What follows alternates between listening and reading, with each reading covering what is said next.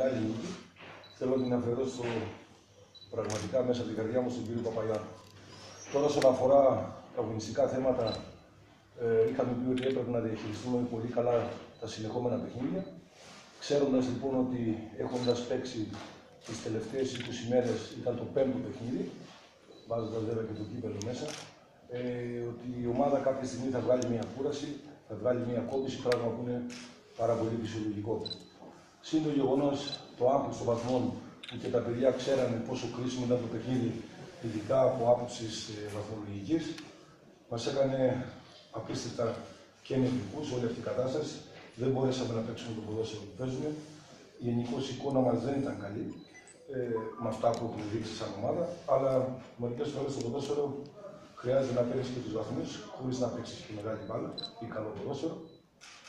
Και τα παιδιά για ακόμη μια φορά θέλω να τα δώσω συγχαρητήρια γιατί ε, σε κάθε μάτς, αν μη το τι άλλο, κάνουν κατάθεση ψυχής. Θέλω να ευχαριστήσω και τον κόσμο που σήμερα ήταν πάλι κοντά μας.